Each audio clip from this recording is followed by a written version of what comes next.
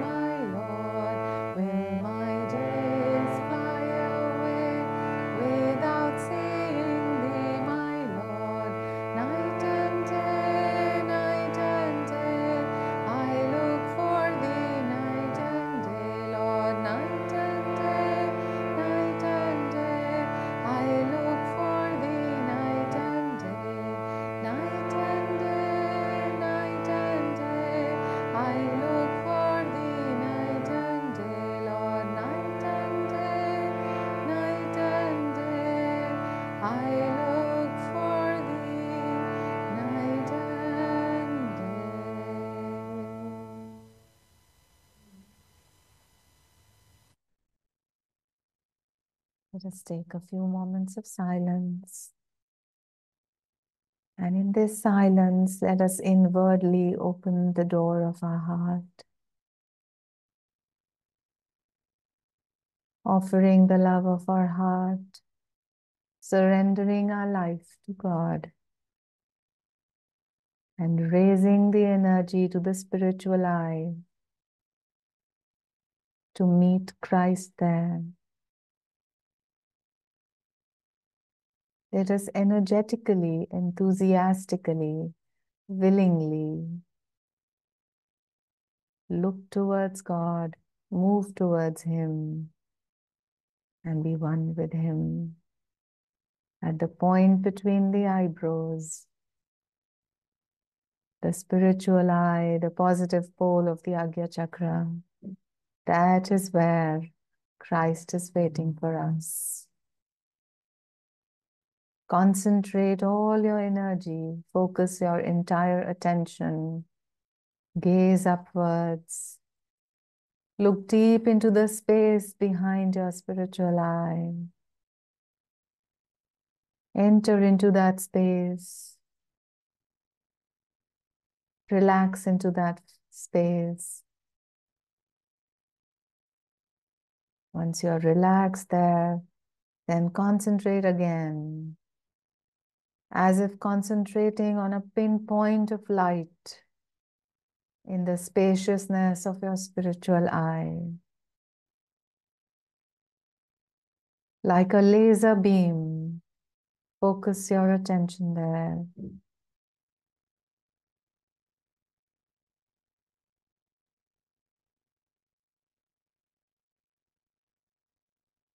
With every next incoming breath, raise the energy in the astral spine and offer it at the spiritual eye.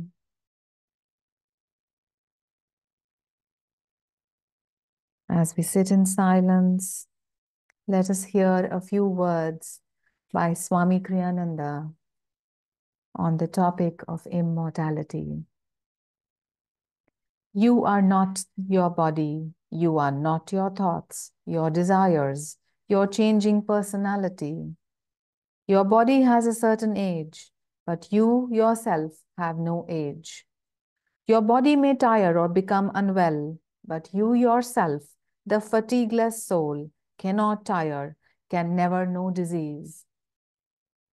Tell yourself always, I am a child of eternity.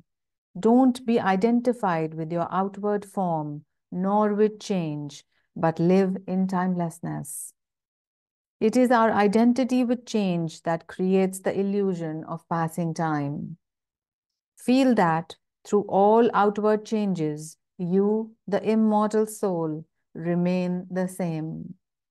Death itself will be but one more change. Be not identified with it.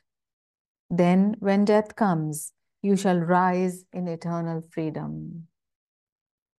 Let us do the following affirmation a few times.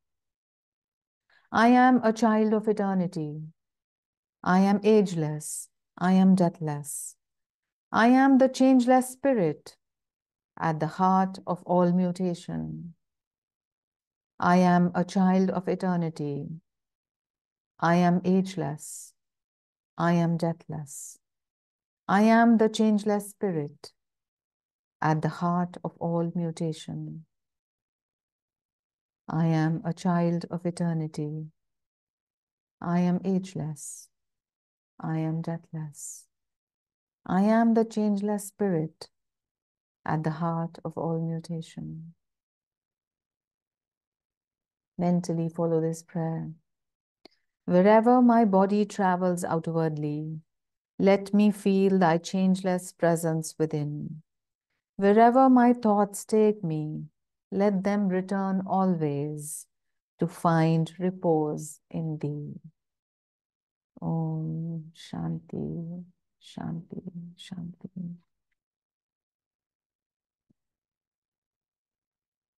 Welcome again, dear friends. And we revert back to our study of the New Testament, of which uh, we are at a very crucial point now. We are uh, at the point where the Last Supper is also done. So during uh, the Thursday evening before Good Friday, before the crucifixion of Christ, there was the Passover feast for which Jesus asked his disciples to arrange. He then shared his bread, he shared his wine, and told the disciples that it was his flesh and blood, meaning that if they were in tune with him, they would always continue to feel him. And then he also mentioned about the traitor amongst them. And then he told Judas Iscariot to actually do the work quickly, whatever he was meaning to do. And uh, while Judas Iscariot goes away with the money bag to meet the scribes, in the meantime, Jesus is addressing the rest of the apostles, the disciples who are so close to him. He, in fact, by this time has personally washed the feet of each of his disciples and he is addressing them lovingly. He is calling them his friend. And he's also now mentioning that how he will not be there anymore amongst them for some time, but then he will send the comforter to them. And then the comforter will reveal all things unto them. The comforter will be a confirmation that jesus the christ was indeed uh, the one the son of god. And uh, he lovingly informs them and when peter says where, where where are you going and i will come along and jesus says to him that you cannot come along and peter says i'm definitely going to come along but Jesus tells him that you will deny me three times before the cock crows. And eventually we will see how that also happens. So uh, the disciples are still confused as to what is going to really happen. In the meantime, Judas has gone to meet with the scribes. Jesus here knows exactly what's going to happen. And he still wants to pray to the Father. He wants to glorify God in front of his disciples and convey the message. So we let's continue with the gospel. We are reading Gospel of John chapter 17. These words spake Jesus and lifted up his eyes to heaven and said, Father, the hour is come. Glorify thy Son, that thy Son also may glorify thee. As thou hast given him power over all flesh, that he should give eternal life to as many as thou hast given him. And this is life eternal, that they might know thee, the only true God, and Jesus Christ, whom thou hast sent. I have glorified thee on earth. I have finished the work which thou gavest me to do. And now, O Father, glorify thou me with thine own self, with the glory which I had with thee before the world was. So, Master explains these subtle statements uh, beautifully. He says, through the, so Jesus is saying what Jesus is meaning is, through the Christ consciousness in me, I have declared thy hidden glory. So, the glory of the Heavenly Father of cosmic consciousness, definitely and tangibly to the doubting people of earth. Heavenly Father, I have finished the work which thou entrusted to me for the redemption of thy true lovers. And now, O Father, though the limitless, through the limitless power of thy cosmic consciousness, surcharge my Christ consciousness, make it absolutely one with thy cosmic consciousness as it originally was before the cosmos and the Christ consciousness as if separated, projected from thee. So again, Jesus is going into the metaphysical and the metaphorical uh, truths of his being, that how he is the, the reflection of pure cosmic consciousness. And before creation came into being, the, the Holy Ghost, the Christ consciousness, and cosmic consciousness were all one. And when creation was projected, the universe was created, then God the Father, that means cosmic consciousness, divided itself into Christ consciousness and the Holy Ghost, and the whole drama of creation has since then played out. And then when uh, creation is withdrawn back, then again, uh, Christ consciousness and the Om vibration or the Holy Ghost will merge back into cosmic consciousness as they were. If we speak parallelly into uh, in, in Hindi words, we know that God the Father or cosmic consciousness is the Nirgun Brahman or the one formless absolute God. One when the one absolute stillness or still consciousness wants to create it it starts to vibrate and it starts to reflect. And then that is when uh, the nirgun brahman becomes the sagun brahman means God with form. And for God with form to project into being, uh, an intelligence or Kutastha Chaitanya or Christ intelligence is required, and a medium is required in which that reflection will happen. And the Om vibration or the Holy Ghost is that medium into which Kutastha Chaitanya or reflection of God, of cosmic consciousness, is projected, and the whole drama is uh, is as if a movie, as if it is projected like a movie. And uh, according to Advaita Vedanta, if we go, it is a pure, uh, it, it actually a non-existent drama. It appears to be true, but it is all illusory because it is just a projection of God's thought. But of course, uh, as long as we think that we are in this body and we are mortals, this drama is very, very real to us.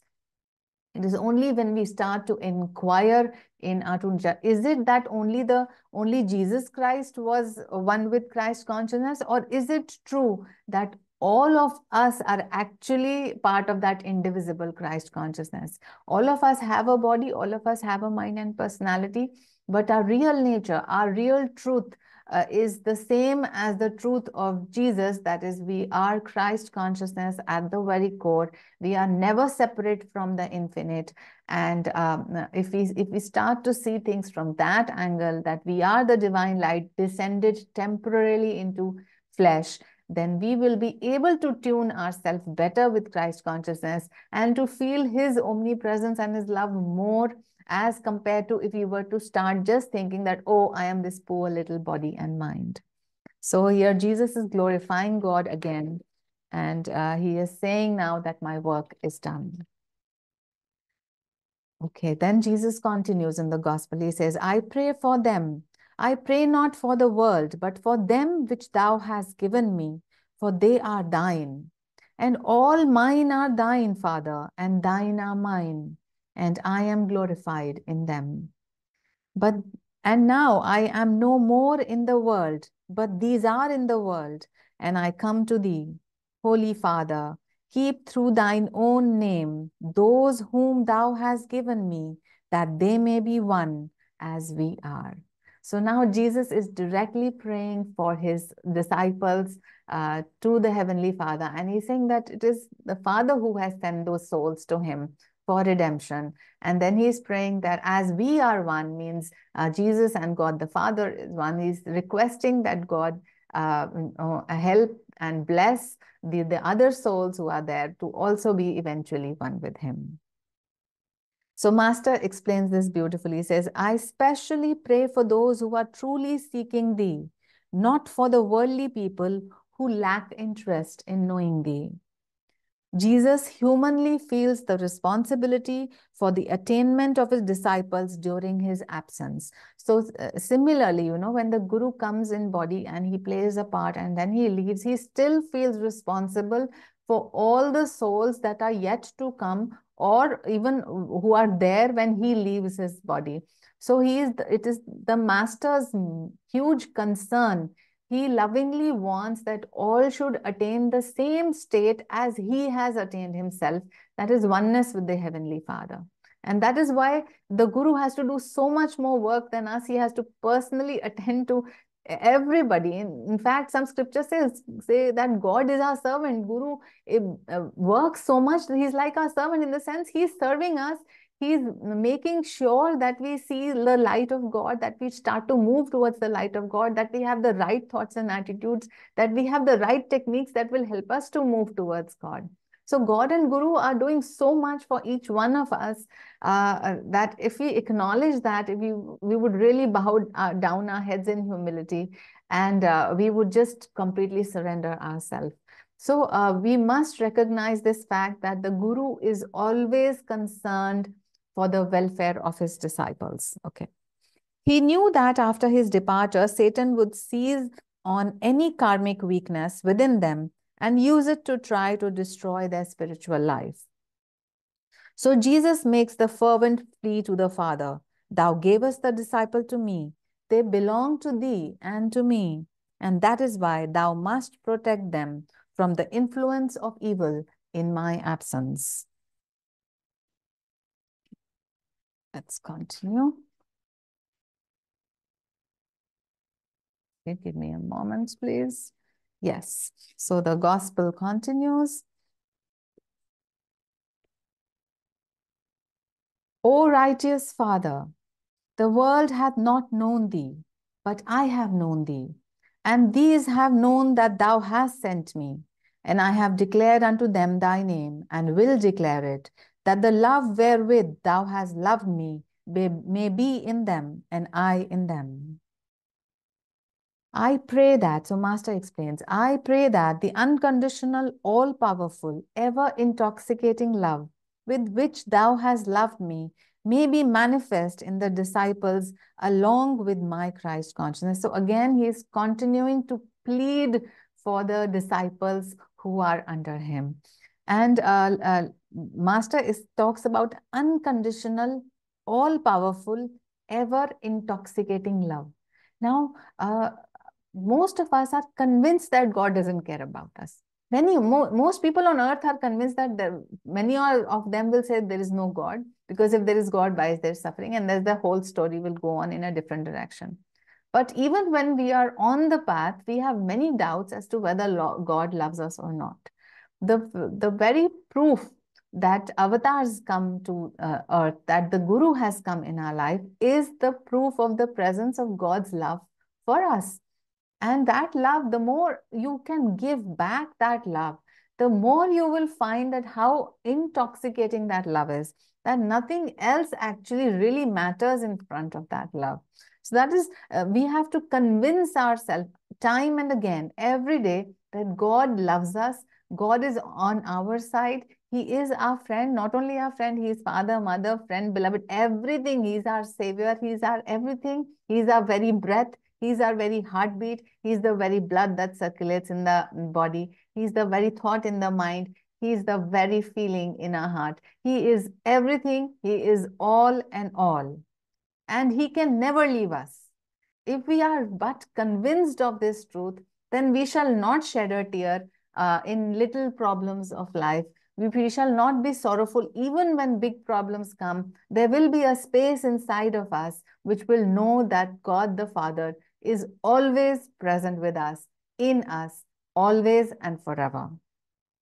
Okay. So now the next uh, part of the gospel is called Jesus's agony in the Garden of Gethsemane and his arrest. So we are closing down to the point where Jesus is going to be arrested. Then cometh Jesus with them unto a place called Gethsemane, and saith unto his disciples, Sit ye here while I go and pray yonder. So just for a, a, physical reference, so there is a garden of Gethsemane, which is uh, about, uh, let's say, uh, 2, 2.5 kilometers away from the point where Jesus was uh, crucified. So the point where he was crucified uh, was, um, uh, at that time, it was the periphery of, of Jerusalem, but now it is at the center point. It is the Holy Sepulchre, the Holy Tomb where uh, Jesus uh, is the all the shrines are there. But at that time, uh, the the uh, crucifixion was done at the periphery of the uh, town, and there is a garden which is approximately two kilometers uh, away from that point, and that place is called Gethsemane. And uh, not only on this night, but on many nights before that, it is said that Jesus and his disciples, uh, when they wanted a quiet time amongst themselves, they would come and sit in this garden. So it's a walkable distance. And when we went to the Holy Land to visit Jerusalem and all the places, we went to all of these points. And uh, there are now olive trees in this area, and there is this rock where Jesus prayed. So as we continue because now Jesus is going to take his disciples, a couple of them, to pray somewhere. So there is a church at the point where he took his disciples, the rock on which he bent over to pray to God. Okay, so coming back to the gospel. And he took with him. So he's saying that you all sit here and I will go and pray. He took with him Peter and two sons of Zebedee. So the sons of Zebedee were James and John and began to be sorrowful and very heavy. Now just transport yourself to the night before the crucifixion to, to feel what Jesus could have felt that night. That he loves so much the, the people of the world. He is so empathetic about them. He is so sorrowful about them. He has come to protect them, but he knows of what consequence it's going to happen. And he knows that the, the game is now just a matter of few minutes. How heavy how sad he is feeling. So he is also human at this point in time and just try to feel what he would have felt. See, he, he felt very sorrowful and very heavy. Then saith he unto them, My soul is exceedingly sorrowful, even unto death. Tarry ye here and watch with me. So he asks those three people. So he's taken Peter, James, and John with him and he's he's telling them the feeling of his heart how heavy and sorrowful he is and he says you watch over here and and we will pray wait here and pray with me inwardly watch with the intuitive eye of christ consciousness that satanic delusion may not enter us unnoticed be vigilant with the sword of wisdom slay at sight any encroaching mental agent of evil. So that is what actually the metaphorical meaning of this is. When Jesus says to us, watch, means be alert, be thou a yogi, Arjuna. And a yogi is super alert and aware of what is happening in his mind, what is happening in his feelings, how he's able to control those thoughts and feelings. Is he a master or is he a slave? So Jesus is telling us, watch, always be watchful. Even with all the wisdom and self control of his divine nature, the incarnate human nature of Jesus was yet temporarily tormented by the delusion of the fearsome trial of crucifixion he was to face. Jesus had to overcome the ego's body circumscribed human nature, the delusion at work in the dreadful events ahead of him, his attachment to his disciples, and his love of serving those who sought his help. The natural human aversion to bodily suffering, and lastly, the primal psychological fear accompanying the prospect of death. So, yes, we have heard Master say that earlier that even the great ones, that when the moment of death comes, so it can take uh, even the great ones some uh, moment of anguish or agony or difficulty but of course, they then accept it gracefully and they know that they have to cross over to the other side. So the same was happening for Jesus. And he knew that not only will he suffer, he also knew what would the fate of his disciples will be after he goes away. And he went forward a little and fell on the ground and prayed that if it were possible, the hour might pass from him. And he said, Abba, Father, all things are possible unto thee. Take away this cup from me. Nevertheless, not what I will, but what thou wilt. So, for the first time in the whole scripture, Jesus is not addressing God formally, saying Abba, Abba, Father.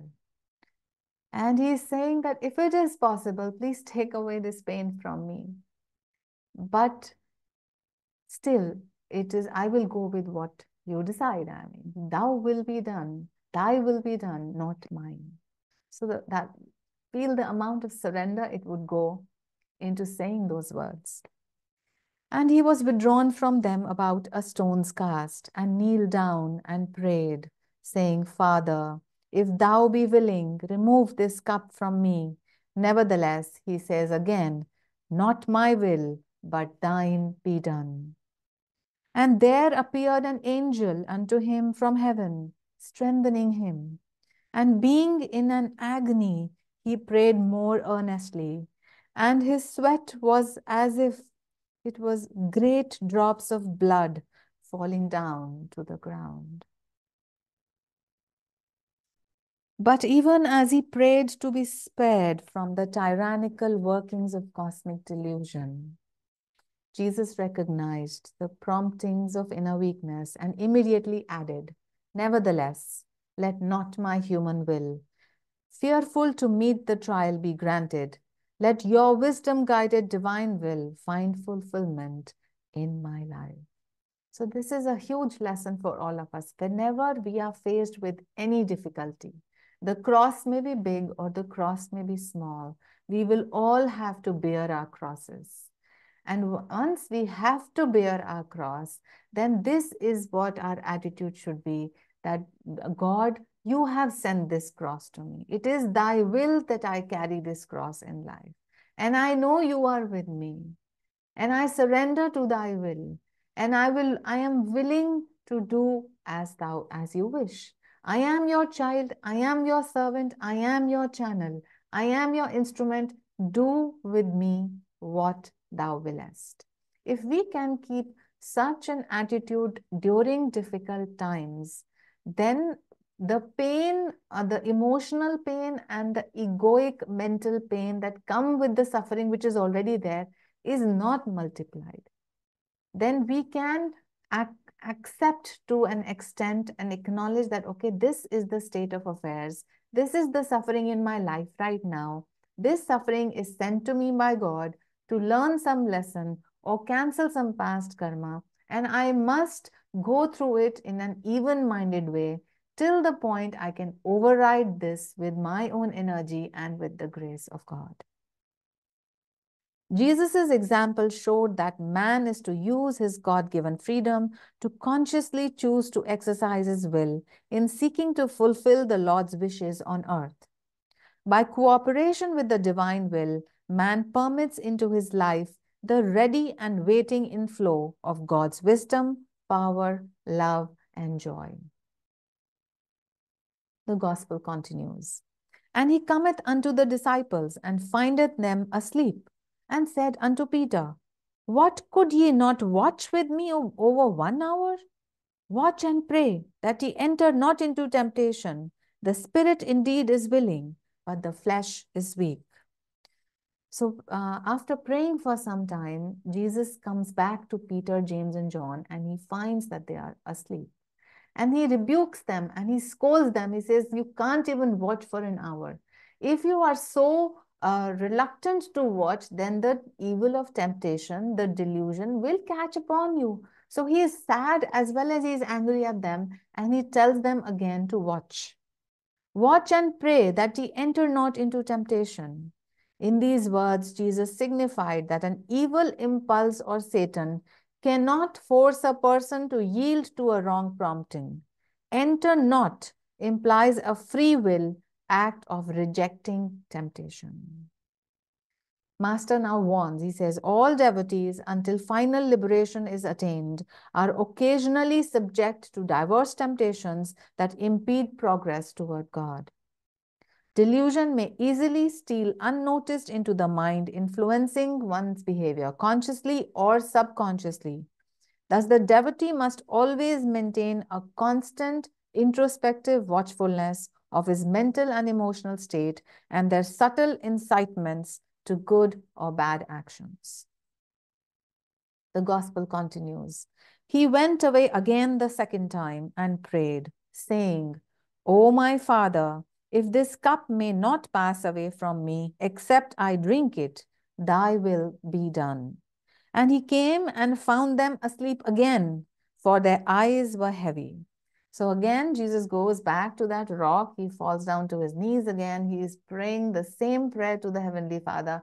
And he says, If this cup cannot be taken from me, and if I have to drink it, then I take it as thy will. So again, after the prayer, when he goes back to his disciples, again, the three of them, he finds them uh, sleeping.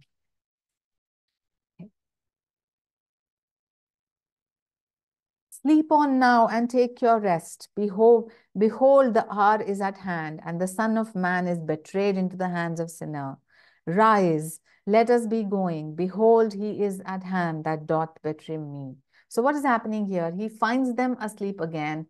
He is he rebukes them again, but then he knows that the time has arrived, and he says, "Now we have to go because the one who has betrayed me is at hand. He is coming." And while he yet spake, so as he is speaking these words, Judas came, and with him a great multitude came with swords and staves from the chief priests and the elders of the people. Now he that betrayed him gave them a sign, saying, Whomsoever I shall kiss, that same is he. Hold him fast. So what happens is when Judas uh, brings the soldiers uh, to to the to Jesus and his disciples, the soldiers and scribes ask him that how will we know that who is Jesus? So Judas says, "The one whom I will kiss, that will be Jesus." And forthwith Judas came to Jesus and said, "Hail, Master!" and kissed him. And Jesus said unto him, Friend, wherefore art thou come? So again, Jesus is still addressing Judas as friend. And as if in a casual conversation, he is asking from where you have come. Of course, Jesus knows everything, but still he calls his enemy his friend. Judas then, having received a band of men and officers from the chief priests and Pharisees, cometh thither with lanterns and torches and weapons. Jesus, therefore, knowing all things that should come upon him, went forth and said unto them, Whom seek ye? So instead of waiting for others to ask, he himself goes to the uh, uh, people who have, the soldiers who have come, and he asks them, Whom are you seeking? They answered him, Jesus of Nazareth. Jesus said unto them, I am he. And Judas also, which betrayed him, stood with him. As soon then as he had said unto them, I am he, they were bent backward and fell into to the ground. So such was the power of the words that Jesus said, I am he, that the soldiers who had come, the people who had come to watch and to arrest him, they actually went back. Physically, they were pushed back in a sense. Then asked he again. So, the, so even though the soldiers had, of course, fallen to the ground, they would have stood up again. And then Jesus asked them again, Whom seek ye? And they said, Jesus of Nazareth. Jesus answered, I have told you that I am he. If therefore ye seek me, let these go away. So he is still protecting his disciples, excuse me. He's saying, I have told you that I am Jesus of Nazareth, so let these disciples, let the others go away. That the saying might be fulfilled, which he spake, of them which thou gavest me, have I lost none. So what is being fulfilled here? So Jesus has, if we remember a couple of you know uh, verses back, Jesus is praying to the Father that thou has given me responsibility for these disciples and you must protect them. And he's also concerned for their welfare. So right now in this position, he's actually concerned and protecting their welfare when he says to the soldiers that you have come for me, I am that person. So please spare the lives and um, you know, of all the other people who are there. Then came they and laid hands on Jesus and took him. So the soldiers have now come. They have they are holding Jesus now.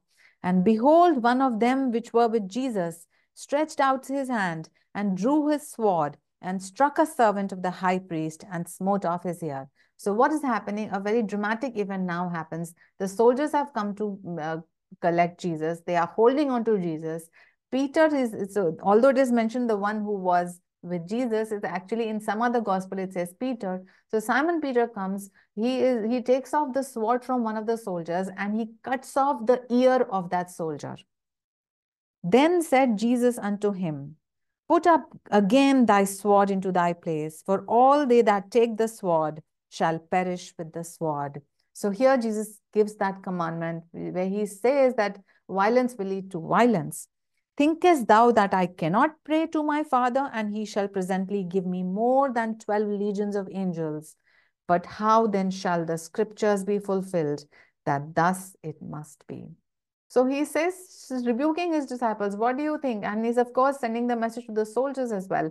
What do you think? I can call upon the angels and they will save me. But then, how will the scriptures be fulfilled? How will this whole drama play out? How will you know about Christ consciousness, cosmic consciousness, and how God the Father is a loving, merciful God?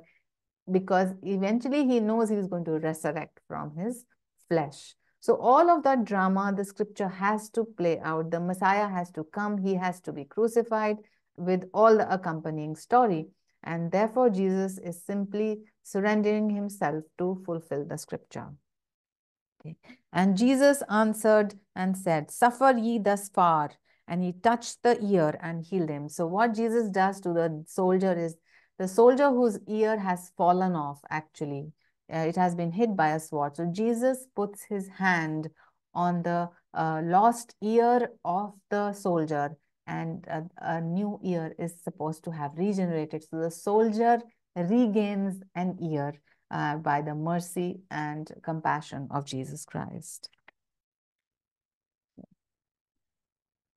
Of course, then Jesus, of course, uh, Master here is explaining that how hatred begets hatred. And uh, uh, we can maybe leave this discussion aside for now because we know about the number of wars that are uh, even currently happening across the world, across continents, that only peace can bring a, a stop to war and a war will beget war, hatred will beget hatred, jealousy will beget jealousy. Unless there is the opposite movement of energy, unless there is love, unless there is the feeling of brotherhood, unless there is the feeling that we are one large family and that we are all brothers and sisters or children of the same one God, till then we know that uh, the the one who goes with the sword perishes with the sword.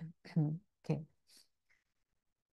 The gospel continues in that same hour said jesus to the multitudes are ye come out as against a thief with swords and staffs for to take me i sat daily with you teaching in the temple and ye laid no hold on me so now, besides the soldiers, some servants have come, some other people have come to watch the drama of what is going to happen to Jesus. And he is addressing them that all of you have come together as if you have come to catch a thief.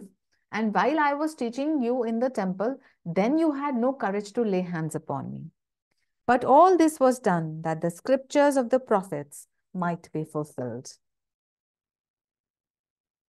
So Jesus knew that the karmically determined time had now arrived when he would submit himself to the spiritual test of the evil power of darkness. Then the drama continues. The gospel now says, Then all the disciples forsook him and fled. And they had that had laid hold on Jesus, led him away to Caiaphas, the high priest, where the scribes and the elders were assembled. But Peter followed him afar off unto the high priest's palace and went in and sat with the servants to see till the end. So now, when the servants have caught hold of Jesus, the disciples, uh, they are afraid and they all run away from that place.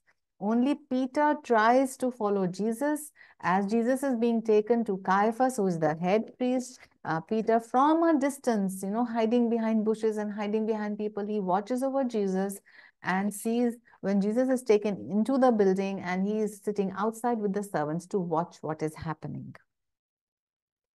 The high priest then asked Jesus of his disciples and of his doctrine. Jesus answered him, I spake openly to the world.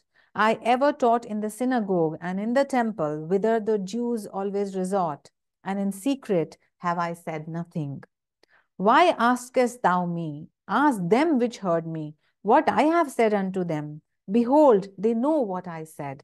So, of course, uh, the high priests have to confront Jesus and they're saying, they're asking him, What have you said? What are you doing? And what is all this that you claim? So he is saying that I have no, hidden nothing in, in front of everybody. I have said openly, whatever I have said, I have said openly in synagogues and temples in front of all the people. Let them testify for my truth.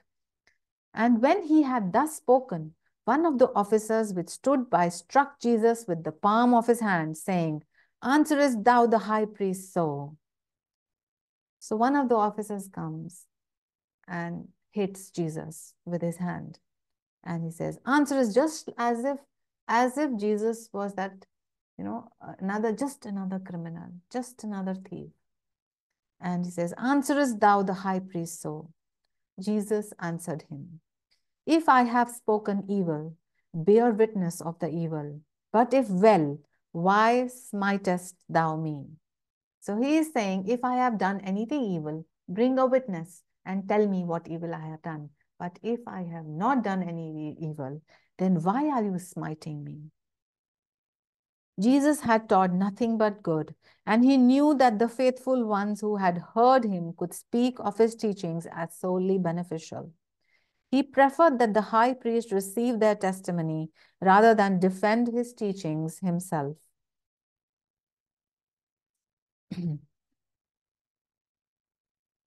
Jesus, like God, behaved with humility and meekly submitted his great self to the tyranny of a few wicked people.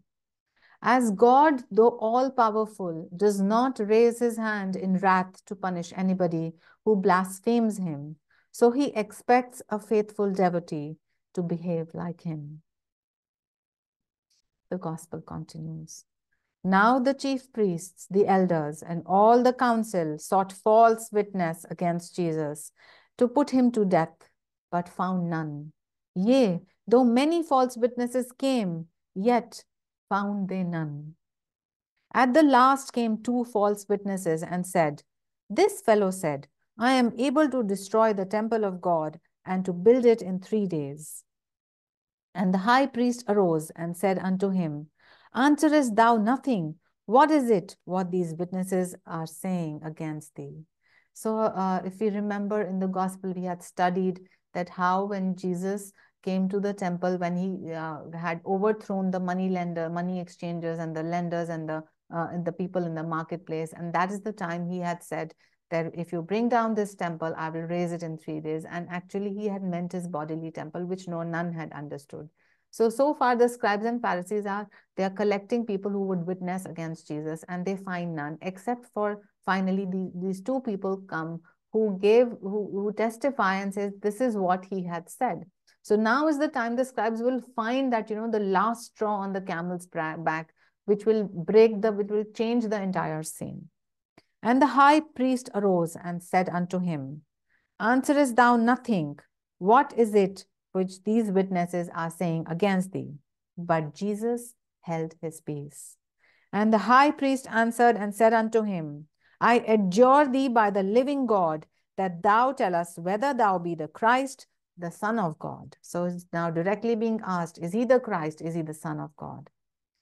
Jesus saith unto him, Thou hast said, Nevertheless, I say unto you, Hereafter shall ye see the Son of Man sitting on the right hand of power and coming in the clouds of heaven. So now, instead of Jesus saying that he is the Son of God and he is the Christ, uh, the drama being played out is that the scribe or the minister is asking him, Are you Christ? Are you the Son of God? So uh, if if we see you know history being written and metaphorically jesus finally did not have to declare and he did not say from his mouth that he was the christ. But he made the other person ask him so that it was the truth was expressed and was noted finally in the scripture and for us to read. Jesus in a remarkably selfless way confirms to his enemy his true self by letting them declare it after the drama of this bodily existence is over, the Son of Man, my body after resurrection, will be beheld in astral world by advanced devotees as manifestation of Christ consciousness.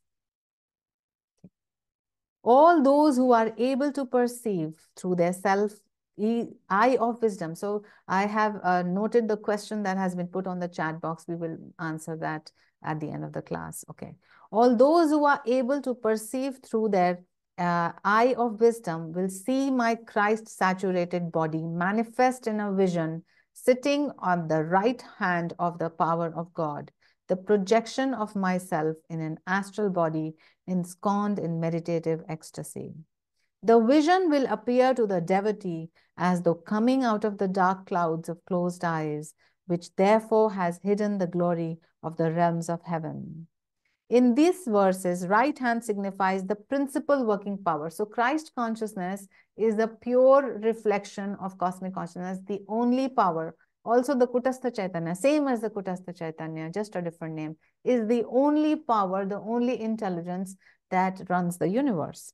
Jesus also signified that not only will people be able to feel him through the comforter or through the Holy Spirit, but people who are in tune, souls who are lovingly in tune with Christ consciousness will also be able to see the form of Jesus. Those who ever call upon him with that love, with that yearning and earnestness will be able to uh, uh, see uh, to see the form of Jesus Christ. So I think that is true for many people. Uh, uh, many people who are present here also have felt the presence of Christ in their life, whether in form or whether in the formless Christ, whether in the form of a raised, of an in, uh, increase or raised energy in the astral spine, or whether in the form of an expanding love in the heart, or just as a presence of deep Christ peace in meditation all of us present here can testify to whatever degree that we have felt the love, the peace, the power, the presence of Christ in one way or the other, to one degree or to another. And that is what he's saying. And if you really call upon him, you will be able to see Christ as you want. So God manifests to the devotee lovingly the way devotee wants uh, to see God. That is also another parallel truth. So, um, although we do not keep demands on how God should present to us, and Master has taught us to be open to uh, whatever uh, grace God sends to us. But if uh, still we have that personal yearning to see the personal Jesus as he was, then if we pray ardently, if we meditate deeply, then that vision shall be granted to us. And that has been promised in the scripture. Okay, the gospel now continues. So now let's just go back to the drama that is happening in that room where Caiaphas is there, the soldiers are there, the ministers are there, high priests are there, people have gathered. The soldier has even hit Jesus uh, once, and Jesus is in a, you know, he's he cannot move physically, he's unable to move, and he's standing there with his head down in all humility. Then the high priest rent his clothes, saying, He hath spoken blasphemy. So the priest comes and he tears off the clothes on the body of Jesus, and he says, You have spoken blasphemy. What further need have we of witnesses? Behold, now ye have heard his blasphemy. What think ye? So now this was the, the fact that the witnesses have said that uh, he, is, he said that he will break down the temple, I will raise it again. And now he is saying that I will be on the right hand of God. So the scribes and priests, know, it's easy for them to now declare that this is blasphemous an act and that he must be punished. They answered and said, he is guilty of death. Then did they spit on his face and buffeted him.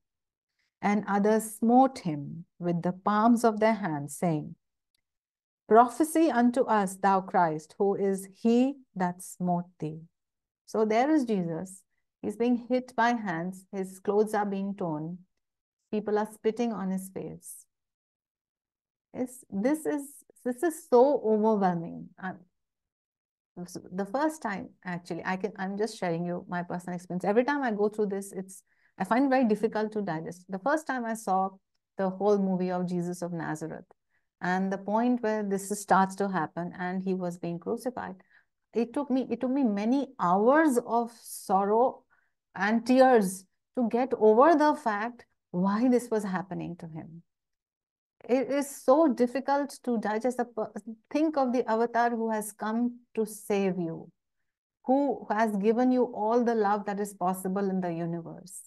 And he has come to personally guide you. And then this is what is happening to him. Who are we little mortals? You know, it is so difficult to digest. Now Peter sat without the palace. So outside the palace, we remember Peter sit, is sitting with the servants. And a damsel came unto him, saying, Thou also was with Jesus of Galilee. But he denied before them all, saying, I know not what thou sayest. And when he was gone out into the porch, another maid saw him, and said unto him that were there, This fellow was also with Jesus of Nazareth.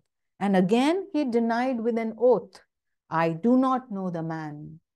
And after a while came unto him they that stood by and said to Peter, Surely thou also art one of them, for thy speech betrayeth thee. Then began he to curse and swear, saying, I know not the man. And immediately the cock crew. And Peter remembered the word of Jesus which saith unto him, Before the cock crows, thou shalt deny me thrice. And he went out and wept bitterly this human drama where uh, Peter does love Jesus. It's not that Peter doesn't love Jesus.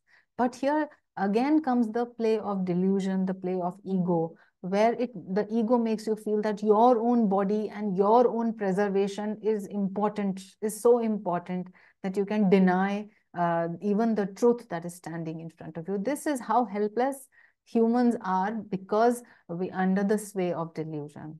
And uh, exactly when, so three people come to uh, Peter, and three of them say that you were with Jesus of Nazareth. And three times he says, I do not know the man. The first time he says plainly, the second time he takes an oath that he doesn't know the man. And the third time, you know, like offense is the best defense. He starts to be angry and cursing at the people, denying again and saying that I do not know the man. And then the cock crows. Now, if you if you were in place of Peter, it was quite a probability would have we would have done the same thing. It's so this is the human and the divine drama that continues to play in our life. Even though in his hour of trial, Jesus was abandoned by Peter and the other disciples, most of them later repented of their weaknesses and atoned for their sin strengthened in their recollected realization of the grace and blessing Jesus had bestowed on them. They regained their faith and courage. So uh, the message here is that even if there is a moment of weakness, so even sometimes if, if we also uh, move towards worldly means to protect ourselves. So, so somebody is saying that, oh, you have a guru and that person is speculative about the guru. And you say, no, no, no, I'm just following. I'm just doing some meditation. I'm not really following. So something like this, some denial like this at some subtle level can happen in front of some people. But then uh, we know in our hearts that uh, it is it is not the right thing because we must stand by the truth, whatever it may be, however difficult it may be. But then if we go forward, suppose such a thing happens, instead of feeling guilty and instead of feeling ashamed, if we go back into our faith and if we go back into reconciliation with our own soul and we go back into faith and prayer deeply, then the reconciliation can happen and you can still feel the presence of God because God is all loving. God is ever compassionate. He is our very own. Tradition holds that Peter, who was eventually killed for preaching Christ's truth, asked his persecutors to crucify him with his head down and his feet up for his sin in having thrice denied Christ, when, as Jesus had predicted, Peter fell temporarily under the influence of satanic delusion. Okay. I think we should be ending the class here today. And let us take a moment to close our eyes and to feel uh, the, the not only the scene, but the agony of Jesus, the agony of the disciples, the agony of the in, of entire mankind at having denied the avatar, at not recognizing. So even now, the truth is right here. Christ consciousness is right within us and around us in every atom of existence, there is the hidden Christ intelligence. And even now, we are denying its presence. We are still saying, I am this body and I like this to live in this world and I want to be attached to this world and I want to have these desires and I want these little fulfillment. So, in truth, on a daily basis, we are denying that we know Christ. We are denying that we are made of Christ's substance. We are denying the truth on a daily basis. That is the sorry state of the limited human mortal. And this can be corrected by regular, regular prayer, by faith, by meditation, because by three, these agencies, we can come in contact with the ever-present Christ within us.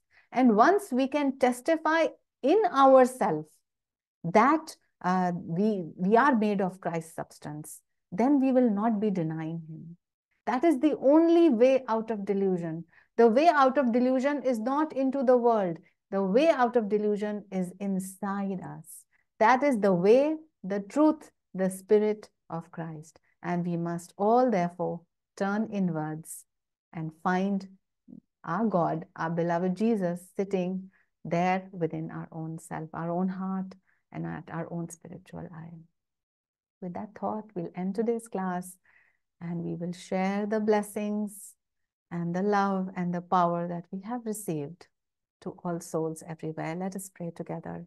Divine Mother, blessed Jesus Christ, thou art omnipresent, thou art in all thy children. Manifest thy healing presence in all bodies, all minds, and all souls.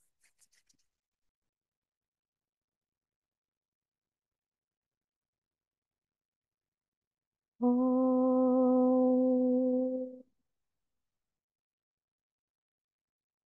Oh.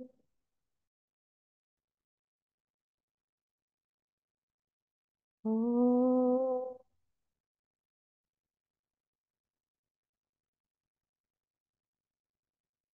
Divine Mother, beloved Jesus Christ, may thy love shine forever on the sanctuary of our devotion, and may we be able to awaken thy love in all hearts. Om Shanti, Shanti, Shanti.